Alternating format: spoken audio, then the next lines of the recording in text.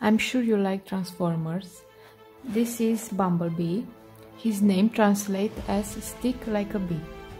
As you know, Bumblebee is one of the Optimus Prime most trusted lieutenants. Although he is not the strongest or most powerful of the Autobots, Bumblebee more than makes up for this with a bottomless well of luck, determination and bravery.